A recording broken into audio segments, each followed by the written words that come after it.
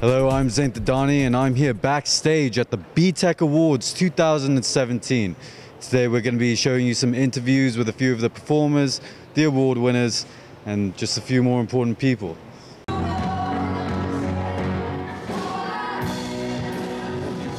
you currently a part of? I am part of the um, Triple Music BTEC.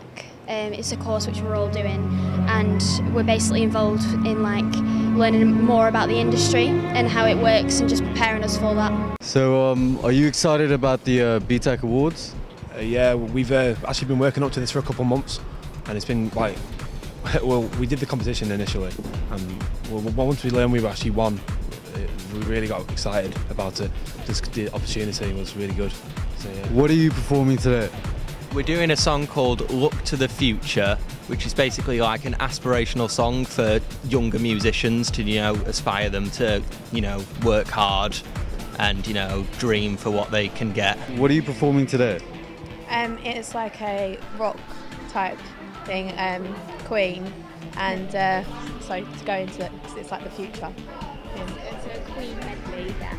Queen medley. So, I'm here right now with, Ryan Gudge. oh yeah, and uh, what course are you doing at the moment? Um, I'm doing BTEC Performing Arts at the moment at Maplesden Noakes. Oh, nice, Yes. nice, nice.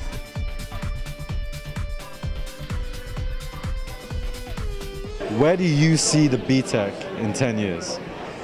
I think it's an interesting, um, that's a really interesting question. I think that in 10 years' time, the skills that students are going to need for the jobs that are out there are going to be very different.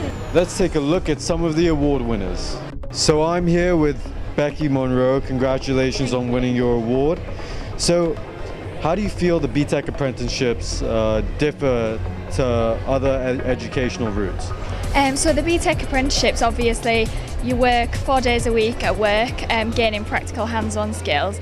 So we've just finished a lovely day of the BTEC Awards 2017. Thank you all for joining us. I hope you've enjoyed the show and have a nice day.